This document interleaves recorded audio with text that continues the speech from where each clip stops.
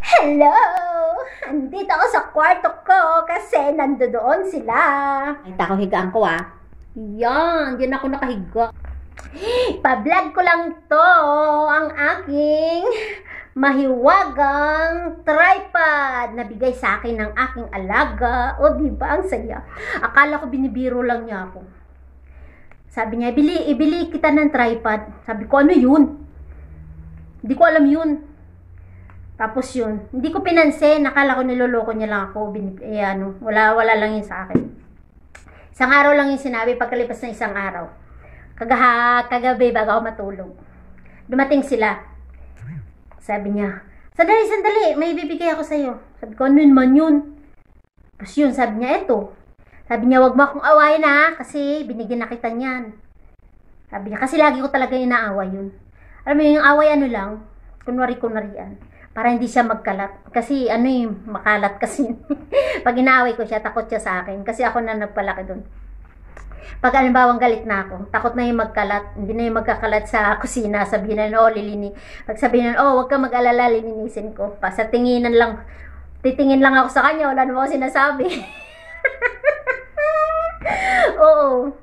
Sabi niya, oh, sasabihin niya, pag nakatingin ako, oh, sabi, sasabihin niya agad sa akin Oh, hindi ano, liligpitin ko yan. Huwag ka mag-alala. Kaya yun, mabait ang amo ko. Lalo na yung ano, yung inalagaan ko, mabait yun. Lahat sila mabait. Kaya nga tumagal ako dito ng 13 years kasi mabait sila sa akin. At saka lalo silang mabait kasi binigyan ako ng ganito. Di ba nakatipid ako. Magagamit ko to. Talaga malaking tulong sa akin sa vlog, nagpa-vlog kasi ano, alam mo yun, yung mahirap kaya mag-vlog na ano, kung saan mo pinapatong, eto, pwede na siyang nakaganyan siya, pwede siyang iganyan. Pag, pag ano, halimbawa, doon nakapokus siya sa baba yung ano mo, doon, igaganon mo lang siya. Tapos, pag may ka-video call ka, igaganyan mo lang siya. O, di ba? Saya. Kaya malaking tulong sa akin to. Kaya, masaya ako. Ando doon sila.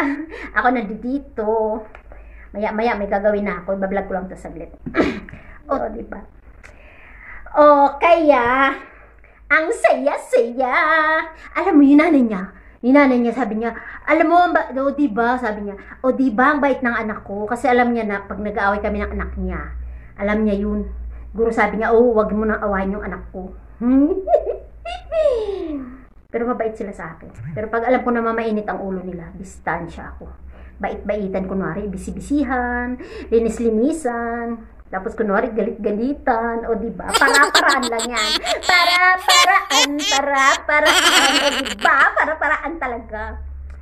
Pero talagang ang bait ng amo ko kasi ko pa daw, eh ano naman, kinakalikot lang. Sabi na amo ko, ano na ginagawa mo dyan? Sabi ko, wala, tinitingnan ko lang to. O di ba? Ingit lang siya kasi binigyan ako. Duh.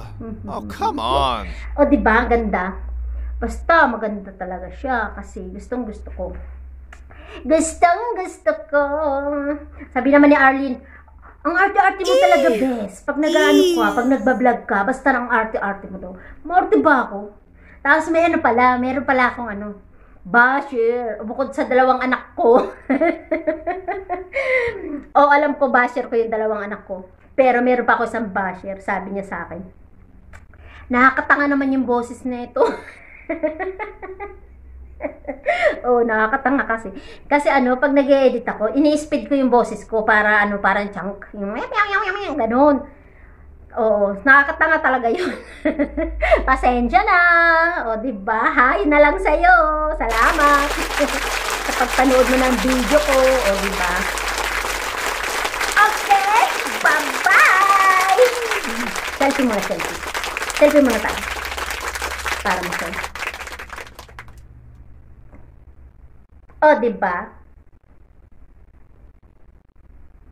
Yan! O, di ba? Nagustuhan niya. Ay, sa sunod kong vlog, sasabihin, ay, ay, ano ko pala, i-reveal ko na. Nak, si reveal Yung ano, yung naipon ko dito.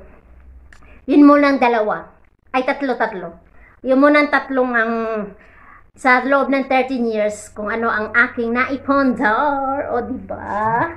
Masaya ako kasi uwa ko, uuwi akong hindi ano, alam mo yun, meron konti. may mapagkukunan kahit papaano. O di ba? Ang saya. OFW, OFW. Laban, laban, OFW. Mali na naman ako. Pasensya na. Masaya lang. O sige, bye-bye na. Kasi mukhang pasilip-silip na sila. Sabihin ko anong ginagawa ko. Ayan na, tinatawag na ako. Bye-bye.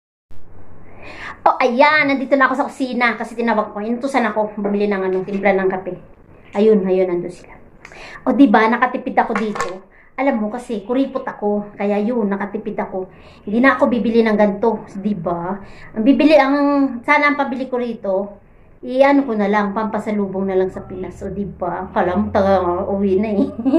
o, di ba? Kasi, ano, bawat, bawat, ano, pag may binibigay sila sa akin, iniipon ko kasi. Na mo, nanghihinayang ako gumastos. Mm Ngayon pa, kasi ano, ang hirap ng buhay sa Pinas. Kaya, na, tinatabi ko talaga mga binibigay nila sa akin.